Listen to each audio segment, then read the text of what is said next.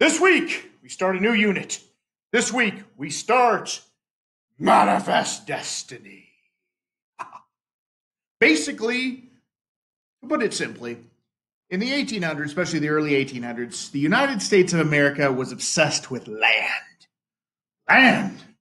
Land, at least back then, and you could argue nowadays as well, land equals power and equals money and equals authority and status. And the more land you have, the more you can do with that land. You know, maybe there's natural resources on that land you could sell. Um, maybe you could farm that land. Maybe nowadays you could put up apartment complexes and rent out the apartments. So, land was an important part of this country. Remember, the Native Americans were here first, and the United States government was like, here's the deal uh, we want this country to be a big, powerful country. Also, remember, a lot of this land was owned by other countries. Today, we talk about this thing called the Louisiana Purchase, which is part of Manifest Destiny. All right. So here's the deal. Everybody look at this map for a minute. All right. Obviously, it's the United States of America.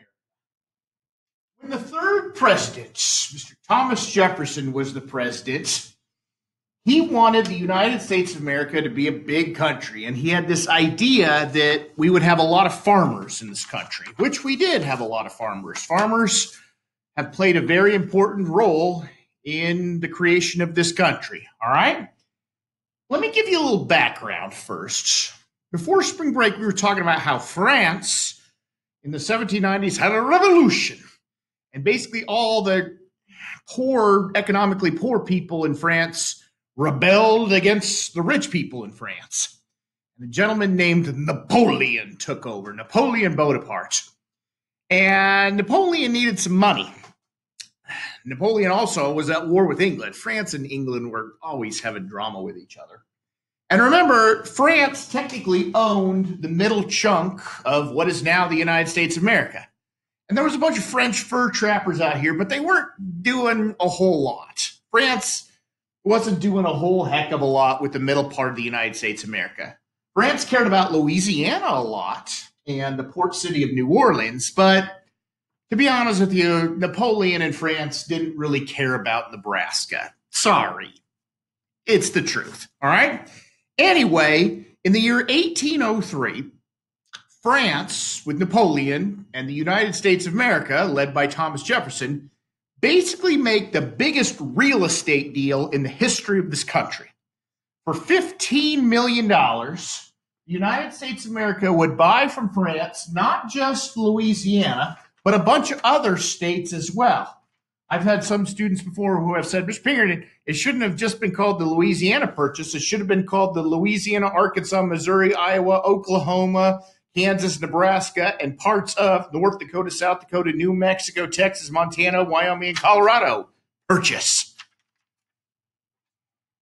That's a lot of words. I, let's just call it the Louisiana Purchase. All right, $15 million, three cents an acre. Heck of a deal.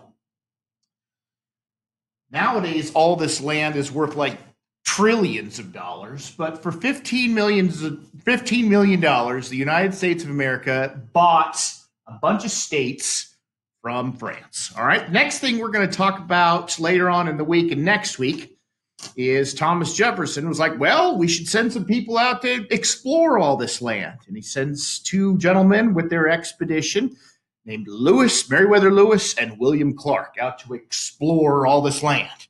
Remember, in the early 1800s, people weren't as informed as they are now. They didn't have the internet or the news, and there were rumors. Like people over on the East Coast part of the United States of America thought that, like, if you went too, went too far out to Oregon, California, Nevada, there were some people that thought that, like, there were still dinosaurs out here. So Lewis and Clark had to go write. It was a science science expedition. Write in their journals what was all out here.